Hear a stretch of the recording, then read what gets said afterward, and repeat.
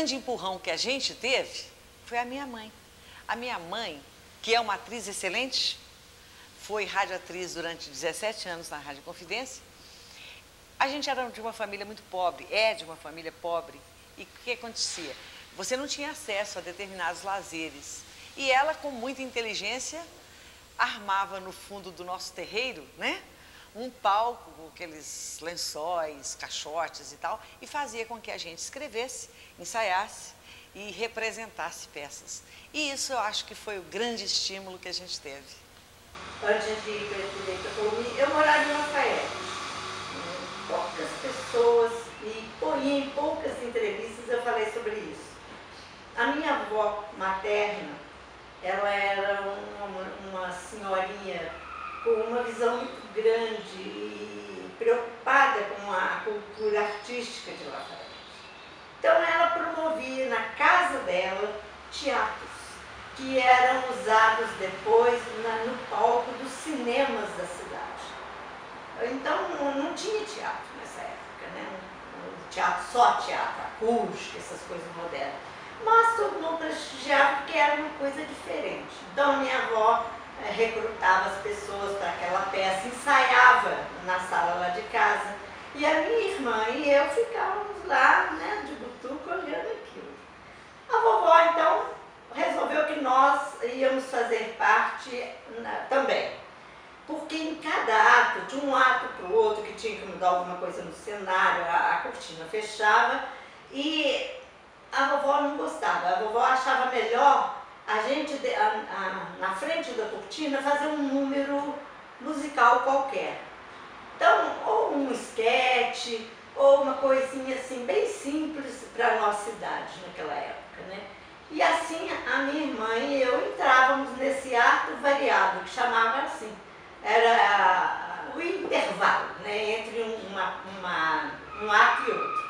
E assim nós começamos. Tinha um namorado que dançava muito bem, fazia aula de dança com o professor Delvino, que dava aula assim pra gente, chamava os rapazes para dar aula de dança. E fui. E dançando, um senhor chegou perto de mim e disse assim, escuta, você já fez teatro? O Luiz Gonzaga. Eu falei, olha, eu nunca fiz teatro. Eu estou vendo você aqui, você dança muito bem. Eu só danço. Mas eu, tenho, eu sou diretor da Escola Mineira de Arte Dramática. Eu gostaria de oferecer o curso de teatro. Eu falei, ah, que ótimo, eu vou adorar, né? Aí cheguei em casa, contei meu pai, meu pai era, né, tomava muito conta. Falei, olha, minha filha precisa ver isso. Mas leva a Nilda também. Aí eu levei a Nilda. E nós fizemos o curso na, na, na Escola Mineira de Arte Dramática.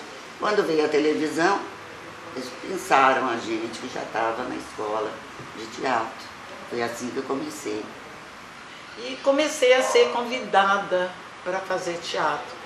Até que surgiu a Itacolomi, que foi em 55, né, a inauguração da Itacolomi. E eu fui convidada, eu fui uma das primeiras atrizes a ir para Itacolomi. E ali nós fazíamos, começaram os teatros, né? Grande Teatro Lourdes, que era a palavra Grande Teatro Lourdes, porque era patrocinado pela Perfumaria Lourdes, na época existia. E nisso comecei a fazer, fiz teatro de infantil, história infantil, é, noites mineiras que eu fiz até com a Lenice, e comecei a crescer dentro da Itacolombia. Aí o Otávio Cardoso me descobriu, me achou uma atriz muito forte. Ele falou assim, não, agora vamos dar papel mais rígido para você, que você é uma atriz impressionante. Eu fiquei até lisonjeada com isso.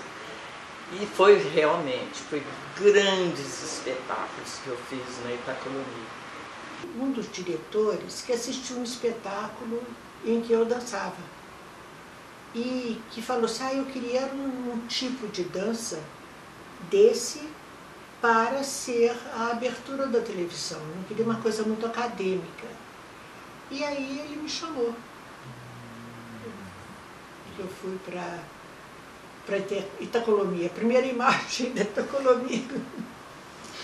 Meu pai era meio radical, não queria que a gente entrasse no meio. Por causa dos próprios costumes da época, né? A moça tinha que fazer magistério, tanto é que eu fiz. Sou boazinha, fui lá e fiz o magistério. Porque é, naquela época todo mundo, toda moça bem comportada, ela tinha que ser professora. Para ser, para ter um certo nível. E para ser bem vista, ela ia fazer magistério. E o meu pai cobrava isso muita gente. Mas a minha mãe era uma pessoa muito boa, ela conseguiu isso numa boa com meu pai. Deu um jeitinho lá, como boa brasileira. Todo o meu trajeto na TV me marcou muito. Primeiro, fui muito assim. O mineiro não aceitava muito atriz, achava que, né? Naquela época, ser atriz a gente era um pouco enjeitado por ser atriz. Mas depois não, depois que apareceu na televisão, tornou uma celebridade, aí começaram a puxar o saco.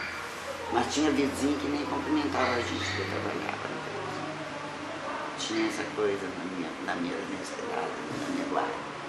Mas eu nunca dei confiança, meu pai também nunca deu.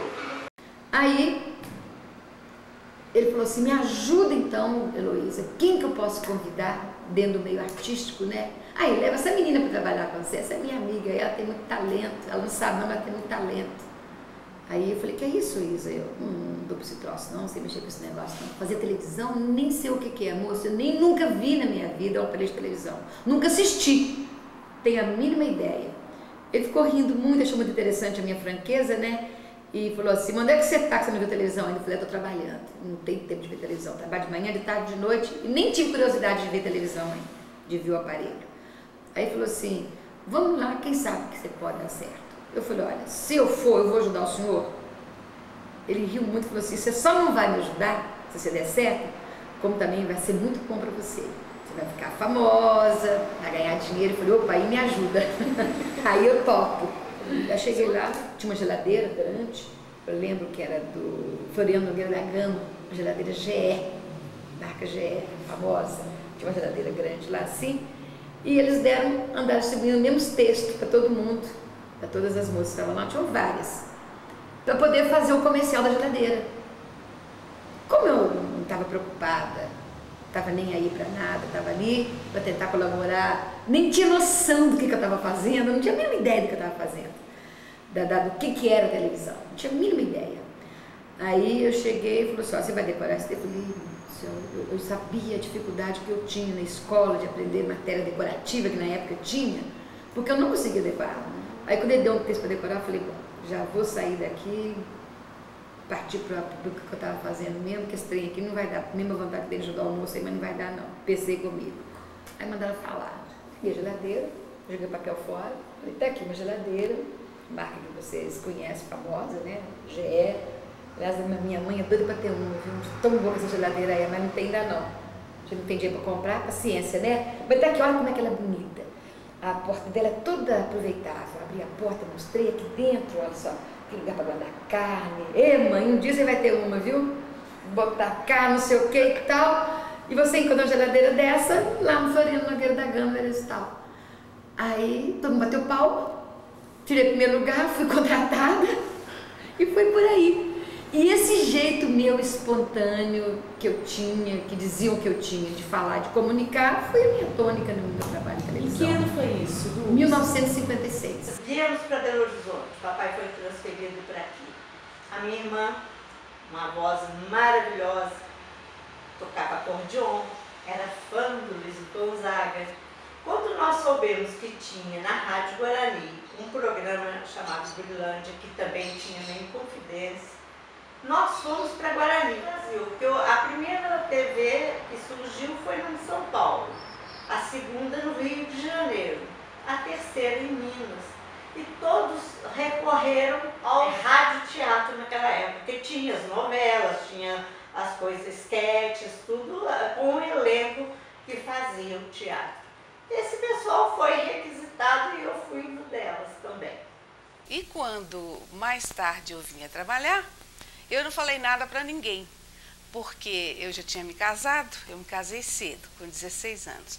Já tinha me separado e precisava trabalhar. Então, eu ouvi um anúncio na TV Itacolomi de um, um teste. Estavam testando garotas. E eu fui me inscrevi. E passei nesse teste. Você lembra como é que foi o teste? Eu me lembro. Como é que foi? Me lembro sim. Quem fez foi a dona Leia Delba, do, do teatro, né? Olha, o teste era hum, fazer postura e andamento, um teste frente às câmeras, teste de fotogenia, um teste de, um, de, de, de áudio, de voz, né? Para ver se, é uma voz boa para microfone. É, hum, texto também memorizado e improviso. Fiz isso tudo. E passei. E eu era muito novinha e estava no meio de moças, moças solteiras, moças bonitas. Então, para mim, foi um espanto quando eu recebi um telefonema me chamando. Mas é porque era para trabalhar com criança e eu já tinha, já era mãe, já tinha duas filhas grandes, né? E assim eu comecei na televisão, substituindo a Zelinha, que era do teatro também, que fazia um bate-papo com as crianças no fim da tarde. Então foi assim que eu comecei, sentada no tamborete, no meio do estúdio, conversando com as crianças. Você lembra que ano que foi isso? Lembro sim, foi em 1968. 68. Televisão preto e branco ainda. Esse programa que nós tivemos, eu e a Nilda, que a Leia Delva que, é, que produziu, chamava Noites Mineiras, a gente contava casos de mineiro e tal, eu tocava violão, nós duas cantávamos, primeira e segunda voz. Foi um ano de programa que um patrocinador quis.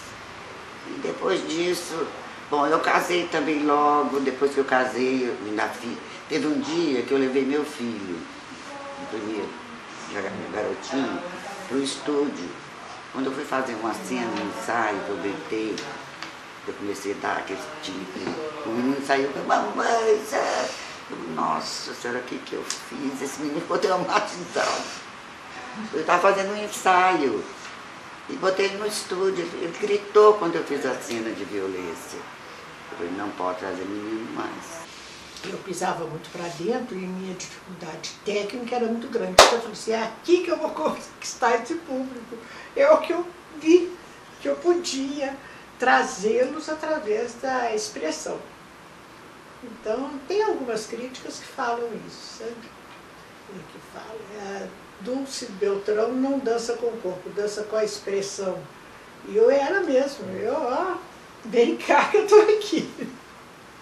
Eu e meu marido, né, escrevíamos novelas e, e radioteatros e fazíamos adaptações de, dos grandes clássicos e de, todo, de autores universais e principalmente brasileiros. E daí, quando fomos, quando foi, fomos para a TV Itacolomi, passamos a escrever para a TV Itacolomi. Isso foi crescendo, foi não crescendo. Eu trabalhei ainda muito tempo na Rádio Inconfidência e na Itacolomi. Um belo dia resolveram que eu deveria optar, ou trabalhar num lugar ou no outro. Eu então fiquei na TV, onde já era um âmbito muito maior e uma coisa nova, por assim dizer. Eu sempre me entusiasmei por novidades, por coisas novas. Fiquei na Itacolomi. Fui teleatriz, depois dirigi. Quando fui mais ou menos obrigada a dirigir, sabe? Não era muito do meu interesse, não, porque eu ocupava o tempo todo e eu não podia trabalhar muito. Eu ficava pedindo os, os outros diretores para me dar uma pontinha, sabe? A mesma pontinha para poder trabalhar, sabe? Mas dirigindo a TV Itacolomi era assim, muito, muito trabalhoso, sabe? Porque o diretor é que cuidava de tudo. Cuidava de, de, de produção, de pedir as coisas todas, coisas de contra-regra, de pensar nos, nas roupas que tinham que ser usadas, pensar em tudo, sabe? Então não era fácil, não. É, eu estou vendo na Rádio Globo, na, na, TV Globo, né, por exemplo, passaram outro dia, é, cada um fazendo um trabalho, né? Um cuida de roupa, outro cuida disso, outro cuida daquilo, era toda a gente mesmo que tinha que cuidar, sabe?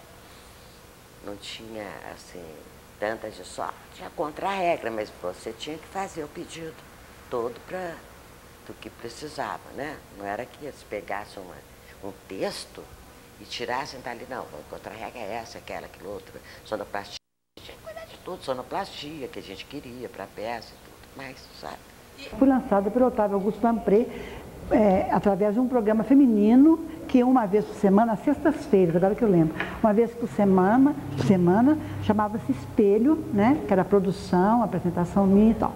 Então, para se anunciar o programa, a Dulce Maria, a Dulcinha na época trabalhava para ele também.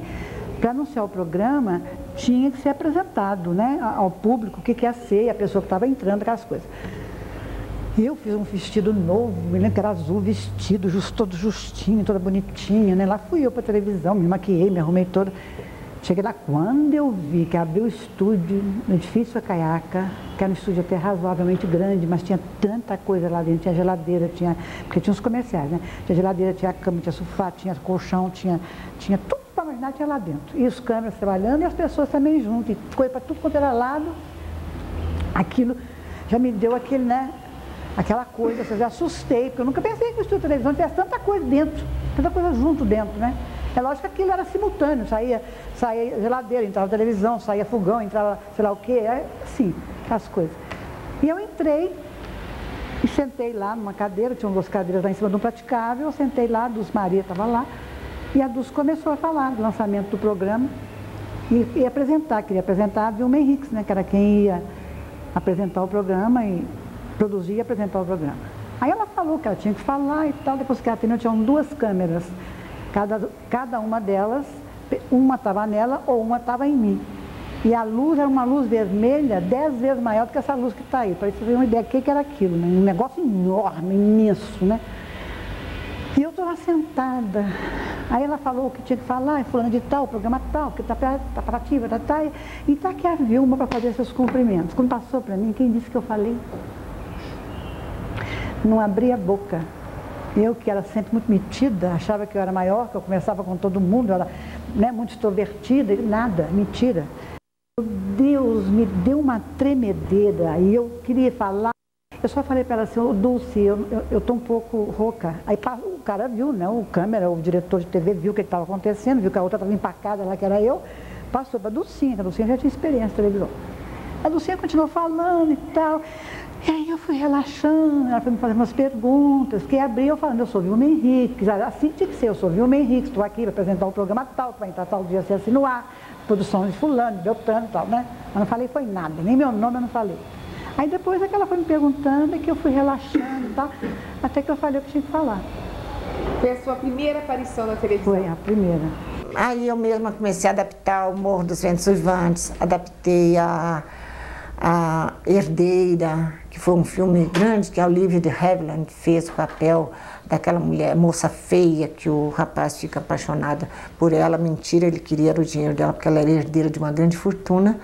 E depois, no, no final, ela descobre que realmente ela tem crença de que ele era é, ele não queria ela e sim o dinheiro, ela fecha a porta e ele fica louco, rebatendo a porta numa peça muito bonita também. Essa foi a adaptação minha para a TV. E eu fiz o papel principal porque eu tinha facilidade. Eu nunca fui uma, reconheço, nunca fui uma mulher bonita. Eu, eu tinha um tipo exótico para tipos. É, a minha, minha, minha especialidade era maior fazer tipos assim, diferentes, porque o meu tipo físico ajudava. Né? Da minha coisa, eu nunca nem me atrevi a fazer, porque o tipo físico não ajudava. Era mais alta. Mais alta, né? E também assim, é, não tinha aquela beleza que exige a, a, a dama galã, né? Essas coisas. Então eu sempre fiz papéis característicos, sempre. É, geralmente dado para drama, para tragédia, não. A tragédia que eu fiz foi a, a Grande Estiagem. Aquela que foi o papel dramático mesmo. Oh, meu Deus, aquela saída do enterro do filho, aquela mãe cantando, olhando para o céu, a chuva que não vem. E o filho morreu comendo raiz venenosa de sede, para matar a sede, aquela raiz que tinha um pouquinho de líquido. Né? É, foi uma coisa linda. O pessoal me emociona só de falar. Os câmeras dentro do estúdio. Todo mundo se emocionou. Quando cortou, aplaudiu a cena. O Baldino Guimarães fazia a cena comigo. E eu tenho a foto dele, deve estar ali, o Baldino, naquele olhar que eu dei para o céu, disse, olha, então, mas ele, aquele olhar seu para o céu pedindo chuva, foi o espetáculo da noite.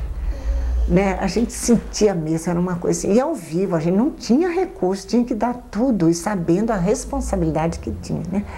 Comecei a trabalhar na, na, na recepção do Banco da Lavoura, atendendo o setor de contas novas. E foi uma experiência que eu amei.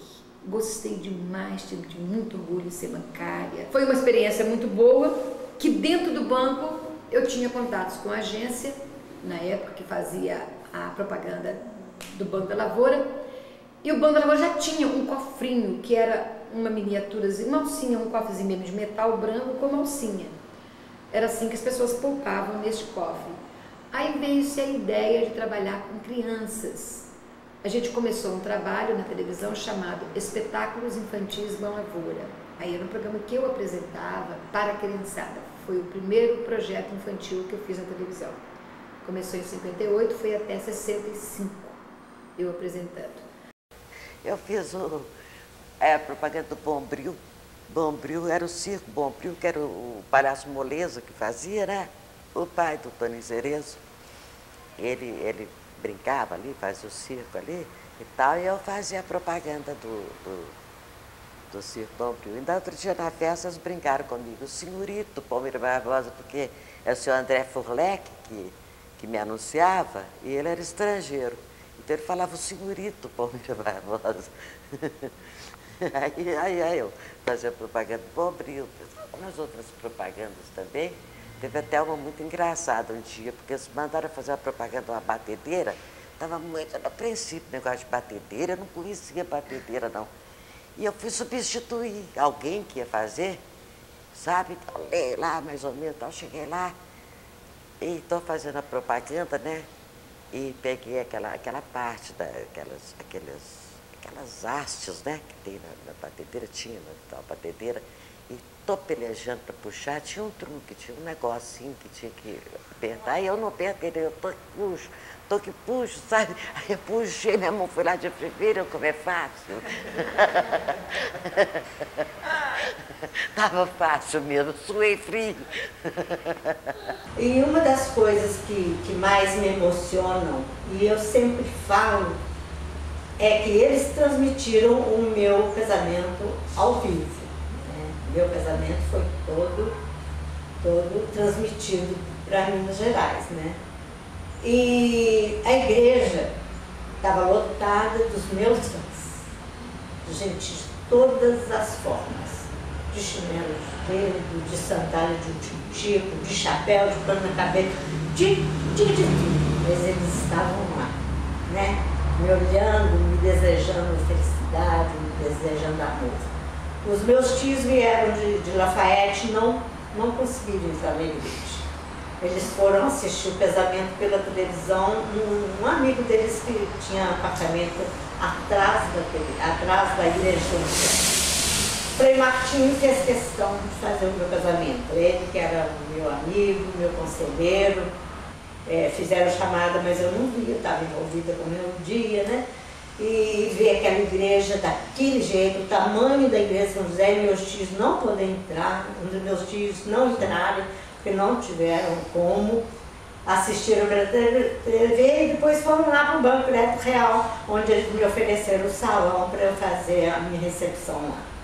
Aí foi todo mundo para lá e aí ficou tudo bem. Então eu sou agradecida a esses pais, pai, mãe, que deram o meu nome aos seus filhos, porque gostaram do meu trabalho, porque acharam que através das suas filhas eu serei sempre lembrada. E isso acho que é o maior orgulho que eu posso ter, que eu possa ter de tudo aquilo que eu fiz. Isso aí está aqui, meu coração. O atriz, o ator, ele tem que viver vários papéis, né? Então ele muda de personalidade em todos os sentidos porque o papel obriga você a isso. Eu acho que você passa a ser melhor, um ser melhor, porque você vive personagens que não é você, que te ensina interiormente aquilo que você está representando. É uma cultura, é um, é um ensinamento impressionante para o seu ego. Aquilo que eu acabei de dizer, você passa a ser melhor, você passa a ser mais humana, você passa a amar mais, você passa a respeitar mais, porque você está vivendo cada dia um tipo de papel, um personagem que você jamais poderia passar que você fosse ser aquilo que você está representando. Então foi assim um ensinamento muito bonito para mim. Eu, através da minha arte de atriz, os grandes papéis que eu tive me ensinou muito a ser gente, me ensinou a ser mais humana, me, me fez ser amar mais,